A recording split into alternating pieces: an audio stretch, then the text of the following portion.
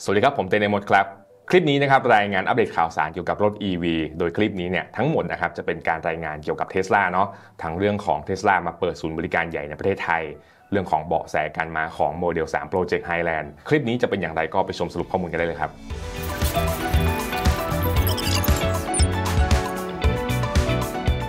เทสลาได้เปิดศูนย์ใหญ่ในประเทศไทยแล้วนะครับ ซึ่งเมื่อวันที่ 4 สิงหาคมที่ผ่านมาเนี่ยเทสลาได้เปิดศูนย์บริการใหญ่ในประเทศไทย ตั้งอยู่ที่เดอะพาสเซโอกลาคำแพงโดยเป็นศูนย์บริการใหญ่ที่ให้บริการครบครันเลยนะครับ ทั้งเรื่องงานขาย ส่งมอบรถบริการหลังการขาย ซึ่งพื้นที่น่าจะมีบริการจำนวนมากถึง 25 ช่อง สามารถซ่อมตัวถังครบวงจร มีพื้นที่ส่งมอบรถได้ 120 คันต่อวันนะแบ่งเป็น 30 คันต่อรอบ มีพื้นที่บริการให้ลูกค้าระหว่างรอซ่อมด้วย มีพื้นที่แนะนำการซื้อรถแบบส่วนตัวแล้วก็อื่นๆ ศูนย์บริการใหญ่นี้นะครับรายงานเผยว่าจะรองรับทั้งลูกค้าที่ซื้อรถเทสลาในประเทศไทยแล้วก็ลูกค้าที่ซื้อรถเทสลานำเข้ามาจากต่างประเทศด้วย รายละเอียดข้อมูลเพิ่มเติมนะครับ ตัวศูนย์บริการจะเป็นอย่างไรก็พี่ต้อมเนี่ยได้ทำคลิปพาชมศูนย์แล้วฮะก็ไปชมกันได้เลยนะครับ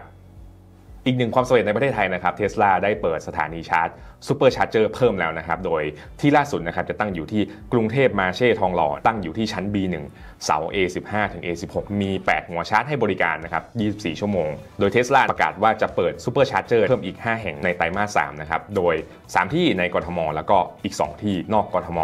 ซึ่งสถานีชาร์จ Supercharger ของเทสลานะครับตอนนี้มีหลายพื้นที่นะครับมากกว่า 10 พื้นที่แล้วทั้งในกทม แล้วก็นอกกทมนะครับ ข่าวถัดมานะครับก็เป็นเบาะแสการมาของ Tesla Model 3 Project Highland นะครับข่าวนี้เนี่ยมีรายงานทั้งข่าวลือ แล้วก็การพบตัวรถเนี่ยวิ่งทดสอบกันเยอะแยะมากมายเลย เดี๋ยวคลิปนี้ผมจะรายงานข่าวสารล่าสุดให้ฟังนะครับ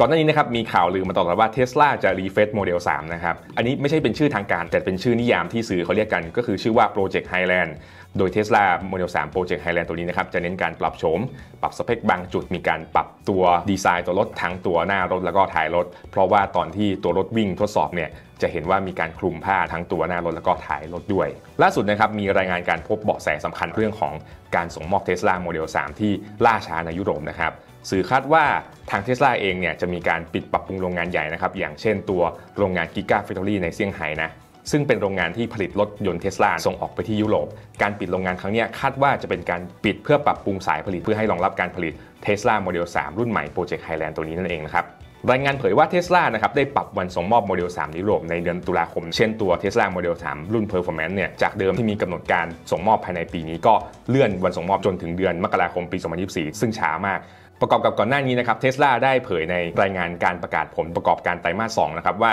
ในช่วงไตรมาสที่3เนี่ยจะมีการปิดปรับปรุงโรงงานทั่วโลกก็จะส่งผลให้บางโรงงานเนี่ยต้องหยุดผลิตชั่วคราว ซึ่งมีความเป็นไปได้ว่าการปิดปรับปรุงตัวนี้ก็คือเป็นการปิดปรับปรุงเพื่อให้รองรับการผลิต Tesla Model 3 Project Highland ตัวใหม่ตัวนี้นั่นเองนะครับ สำหรับประเทศไทยนะครับก็มีเบาะแสเหมือนกันเทสลาเนี่ยปกติแล้วเนี่ยจะปรับลดราคานะครับทั้งตัว Tesla Model Y แล้วก็ Model 3 อันนี้หมายถึงทั่วโลกนะ ก็คือลดบ่อยมาก แต่ในไทยเนี่ยลดราคา Tesla Model 3เนี่ยเป็นครั้งที่ 3 แล้วนะครับ เดี๋ยวผมจะสรุปราคาเบื้องต้นนะครับของ Tesla Model 3 รุ่นที่ปรับลดราคานะครับ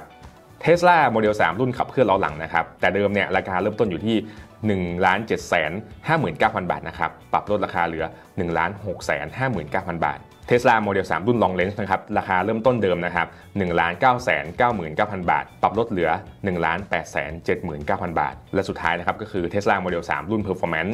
ราคาเริ่มต้นเดิมนะครับอยู่ที่2 3 9 0 0 0 บาท ล่าสุดก็คือปรับลดเหลือเพียง2 5 9 0 0 0 บาทเท่านั้นเองครับ ข้อสังเกตนะครับจะอยู่ที่ตัว Tesla Model 3 รุ่น Performance นะเป็นรุ่นที่ราคาลดลงไปเยอะมากๆ ก็นี่นะครับจะสอดคล้องกับรายงานข่าวลือ แล้วก็การอัปเดตเรื่องของการส่งมอบรถของยุโรปนะครับที่ก่อนหน้านี้นะครับบอกว่า Tesla Model 3 รุ่น Performance เนี่ยส่งมอบล่าช้ามาก จากเดิมจะส่งมอบภายในปลายปีนี้เลื่อนไปเป็นส่งมอบในเดือนมกราคมปี 2024ดังนั้นนะครับก็มีความเป็นไปได้สูงว่า Tesla Model 3 รุ่น Project Highland เนี่ยอาจจะมาภายในปลายปีนี้ก็ได้นะครับ